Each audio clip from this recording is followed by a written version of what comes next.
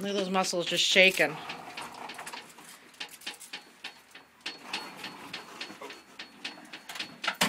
He got right on this time with a little bit of help, but still shaking.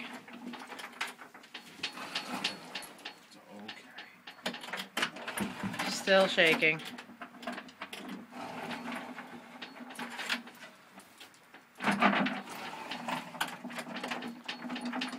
You see the bat mark on the top, and I just tapped him with it. Ooh.